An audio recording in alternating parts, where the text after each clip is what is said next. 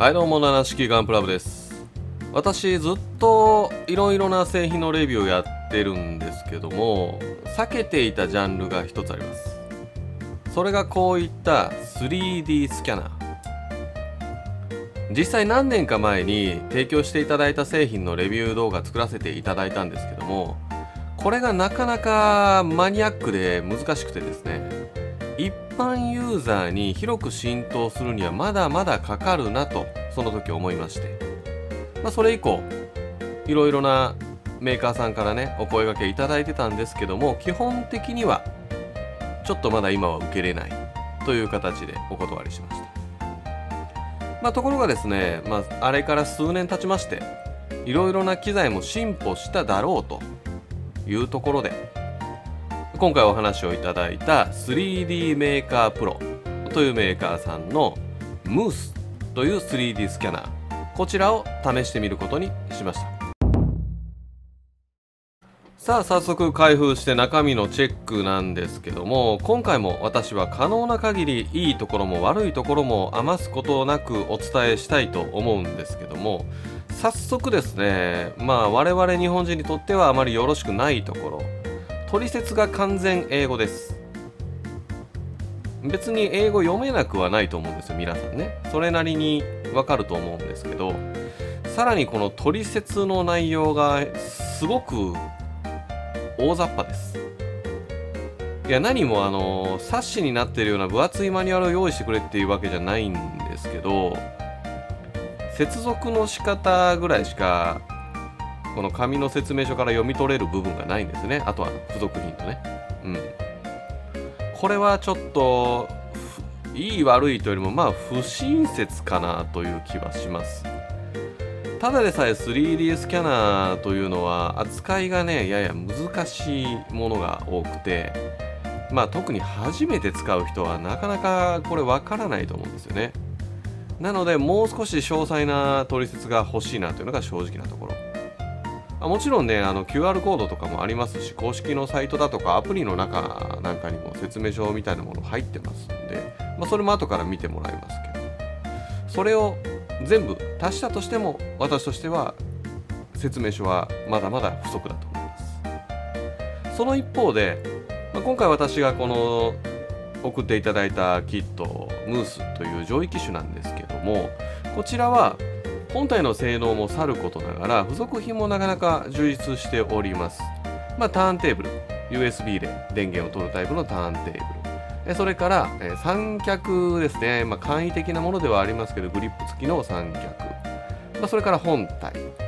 あとはその本体とパソコンをつなぐケーブル。さらにそのケーブルは一体になってこう電源にもなってますんで電源でそれから AC アダプターですね。まあ、これもちょっと後でお話しすることにはなると思うんですけどもこちらの製品はいわゆるスマホなんかと連動させて使うものではなくて基本的にはパソコンに接続して使うものです。またですね電源が別途必要になります。これちょっと不便なところでパソコンがあって近くに電源があってなおかつこの配線の届く距離でしか基本的には使えません、まあ、そういったところを踏まえた上でえー、ここから実際に使ってみようかなと思います。七式ガンプラブ。さあそれでは公式から JM スタジオという専用ソフトをダウンロードして登録したら起動してさっさとやっていきましょう。一応クイックスタートっていうところにマニュアルもあるんですけどまあ大した内容はなかったですスキャンを押すと、えー、スタートしますんで手持ちかターンテーブルかを選んでください。スキャナー本体の電源が入っていれば映像がちゃんとこうやって映ります。で私はターンテーブルの方が圧倒的に使いやすいと感じたので今回はターンテーブルについての話をメインに説明していきます。下の方に初期化というボタンがあるんですけどこれを押すとターンテーブルを単体で認識してくれます。初期化をしてターンテーブルをうまく認識できれば後から読み込んだ時にこのターンテーブルだけをパンと消すことができるんですよね。まあ、これは結構便利なことでこれができないと手動で消さないといけないんですけども自動でやってくれますのでちゃんと初期化してターンテーブル単体で読んでおきましょう。次にスキャンを押すとスタートしてしまいますので押す前に対象物をターンテーブルの上に載せておきましょう、まあ、この時対象物がうまく映らない場合は明るさや感度を調整して映るようにしてください。映るようになったらスキャンをしてスキャン開始。スキャン中もね明るさなんかは変えれるんですけど今まで黒読めなかったものが多かったんですけどこのモデルはね黒がきっちり読めるので非常にこの点は素晴らしいと思います。320フレーム分のスキャンが終わると自動で停止します。スキャンがうまくいってないとこの時点で分かっていたら削除を押せばキャンセルも可能です。ターンテーブルで、えー、やった場合には自動でテーブルがピンク色に選択されます。これはね後で消すことができます。これだとスキャン範囲が全然足りてないので追加でスキャンを選んでいきましょう。対象物の向きを変えるなどして複数回追加でスキャンを繰り返していきます。1回のスキャンでは足りなかった部分のデータをこれで補っていくという感じですね。なので物が大きければ大きいほどこのスキャンを繰り返すことになってきます。どうしても底面とか点面とかって取れないので横向けたりひっくり返したりいろんな角度からスキャンを繰り返してください。今回はテストということで6回程度スキャンしましたがもっとたくさんスキャンすることもあります。選択してゴミ箱ボタンを押すとピンクの部分要は台座ベースの部分ですね。こちらは一発で消すことができます。これが非常に便利機能ですね。はい。え全部消し終えたらデータを全て可視化してアライメントというボタンをポチッと押してやると今可視化されているデータの位置情報を合わせて自動で合成してくれます。これも今まで私が使ったことあるものの中では最も合成の精度が高くて非常に便利な機能だったと思うんですけどこれがなかなか一発でバシッと綺麗に合成っていうのはできないんですよね。でそれがうまくいかない場合は例えばこのデータとこのデータならうまくいくとかいうのが結構あるんで2つ3つ選択対象を変えて何度かやり直して例えば6つあるなら2つずつ合成して最後3つまとめて合成して1つにするとかそういった工夫をしてやることでなんとか1つの綺麗なデータにまとめることができます。もしどうしてもまとまらない場合はマニュアルで調整位置調整をする方法もありますのでその使い方も併用しながらできるだけ自分の欲しい綺麗なデータになるようにこれを繰り返していきます。今回はテストということで無理やりやってます。あまり綺麗なデータではないです。はみ出ている部分もありますし回転している加減で向きがずれている部分もあります。ここで分かったを押すと編集に進みリターンマッチを押すと手動アライメントになります。ちなみにターンテーブルを押すと追加でスキャンすることもできますのでここで1つ戻るのも手ですね。また不要なデータを非表示にすることでまあこんな感じで見た目的に邪魔なものを省くこともできますがデータが減ると穴が開くこともありますので穴が開いているならできれば再スキャンしてその穴は埋めておきたいです。ここではテストなのでとりあえず分かったを押して作業の順番を見てもらおうと思います。こうするとアライメントしたデータがグループ化されますのでこの状態で処理を押すとメッシュデータに置き換える処理を行ってくれます。でそのファイル名をつけてメッシュデータに置き換えるんですけども処理する内容はこの右の上の方のチェックでどうするかっていうのは変更できますしこの後さらにですねこの変換の細分化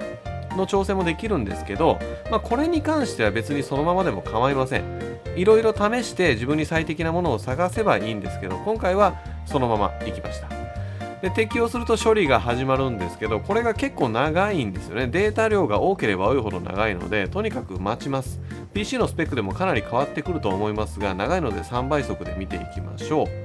こんな感じで穴が開いていた部分もちゃんと埋めてくれる埋めてくれるんですけどもやはりそんなに綺麗にはならないのでできるだけスキャンデータで穴がないようにきっちりとスキャンしておくことをお勧めします。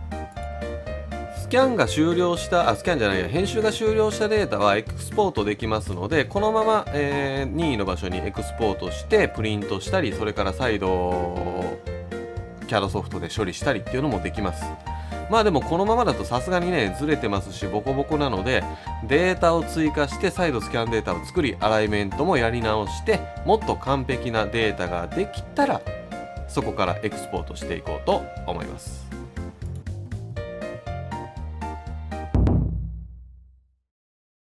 さあこちらのムースはあの自動アライメントが非常に便利な機能ではあるんですけどもさっき見てもらって分かるようにどうしてもねずれるデータなんていうのも出てくるんですよ。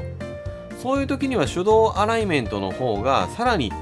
自分で決めた位置で精度高く合成してくれるんですけどもこれちょっと使い方がややこしいんでよくね字幕読んで、えー、分かりにくいと思いますけどこれを覚えると一気にねやりやすくなるので覚えてください。まあポインターの位置を揃えるわけですよね。左のデータと右のデータを同じデータにしたいので共通する部分ってあるじゃないですか、まあ、ボタンとかねスイッチとかがあれば分かりやすいんですけどそういう自分が見てこれとこれは共通の箇所だなっていうところに同じ位置にポインターを置いていくんですね。色を選んで右クリックでポインターの位置は変更できますんで右と左ができるだけ同じデータでこことこの位置とこの位置この1とこの1は同じデータなんだよというのを分からせるためにポインターの位置を調整していく感じです。これがうまくいけばかなり綺麗にアライメントができます。七式ガンプラブ。はいそういったところでちゃんともう一度全部スキャンやり直してできるだけいいデータを寄せ集めてうまく手動で全部ねアライメントをさせるとこんな感じになりました。オートでも分かりやすい形状。これねあの筒になってるんで向きをどうしてもこうオートだと間違えちゃうみたいなんですよね。どっち向きか分かんないっていうので。えこういったカメラみたいな左右が非対称のモデルであればそういうズレはあまり起こりませんのでこちらはねオートで2つずつ合成して2つずつ合成して最終的に全部合成して仕上げたデータになります。まあ本当にねできるだけいろんな角度からスキャンして追加してスキャンして追加してうまく隙間を全部埋めることができるとこんな感じでうまくデータをまとめることもできます。ここに至るまでに何せねあの説明書が優しくないのでこのソフトの使い方も含めてここに至るまでに私もなんだかんだで3週間ぐらいこのスキャナーをいじくり回してました。空いた時間に。でこのスキャナー自体の精度っていうのは確かに数年前のモデルに比べてすごく良くなってます。メッシュが細かいですしまあ、色情報だってこれは取ってくれるモデルなのでカラーで取ってくれます。また黒がちゃんと読めるのも素晴らしいですしなんといってもオートアライメントの機能が非常に便利で賢いです。これでも賢いんですよ。皆さん勘違いしないでくださいね。ダメじゃんじゃなくてこの精度でこんだけやってくれる家庭用の 3D スキャナーってそんなになかったのでこれはこの値段でこんだけできる実際はすごいことなんです。すごいことなんですけどもいわばあの家電的に電源入れたら誰でも使えるよっていうレベルにはまだまだ到達してません。これもねおそらくもうちょっとねちゃんとした説明書があれば随分と変わるとは思うんですけども現状では私のように手探りで始めて手探りで自分でちゃんとできるようになろうと思うと本当にかなり根気が必要です。ただ1回できるようになってしまえば、まあ、2回目以降は簡単ですよ。もう何やればいいか自分で分かりますんでそれが分かるまでがちょっと大変。そういう意味では本気でやりたい人にはすごくいいと思うんですよ。ただちょっとスキャンしてみたいなぐらいの感じの方は絶対これうまくできる前に投げてしまうと思います。初期のね 3D プリンターでもそういうことがあったんですよ。最初の頃の 3D プリンターって今みたいに簡単に使えなかったんですよね。調整が結構シビアで自分できっちり調整しないといけないし今みたいにあの動画でマニュアル的に出してくれてるような人も少なかった少なかった時代で手探りでねやらないといけなかったんで投げた人多かったんですよやりかけたけどもう無理っつってやめた人多かったんですよ。で今はね簡単にできるようになりました。で 3D スキャナーに関してはまだまだまだまだ誰でも簡単にできますよとは言えるレベルではないんですがその一方でこのスキャナー本体の精度とソフトの出来っていうのはめちゃめちゃ良くなってます。もう数年前のものも明らかに過去のものとして忘れてもらっていいようなレベルになってきてますどうでしょう？私これ万人におすすめできるとはとてもじゃないけど難しいんで言えませんが私としては非常に面白いおもちゃだと思います。はい。有用ですよ。有用なおもちゃです私はこれを使ってもうようやく使い方も慣れましたしたんでこれからこれを使っていろんなミニチュアを作ったりもうカメラとかこのミニチュアってね自分でデータ作ってもちろんプリンターで出して作ることもできるんですけどこっちの方がより本物に近いバランスで作れるじゃないですか。当然本物スキャンしてますんでこれは楽しいです。できるようになると。なので投げない根性がある方それから、えーどうしてもこの 3D スキャナーが必要な方多少難しくてもいいから精度が欲しい方には全力でおすすめできます。ご覧いただいているように普通にスキャンしたデータをそのままこれ縮小してプリントしたんですけどこれぐらいの精度のものが簡単に出せるようになってるんですよ、まあ、簡単にっていうのはあくまでも使い方を理解した上であれば簡単にってことね。なので既存の 3D スキャナーでうまくできなくてスキャンがうまくいかないよっていうトラブルを抱えていた方もこちらであれば、えー習熟すればちゃんとしたものがスキャンできると思いますので、えー今後のことも考えて導入を検討されている方はぜひね概要欄の方からクーポンもありますので、えー購入していただけると嬉しく思います。そんなわけで今回はここまでお届けしたのは七式ガンプラブでした。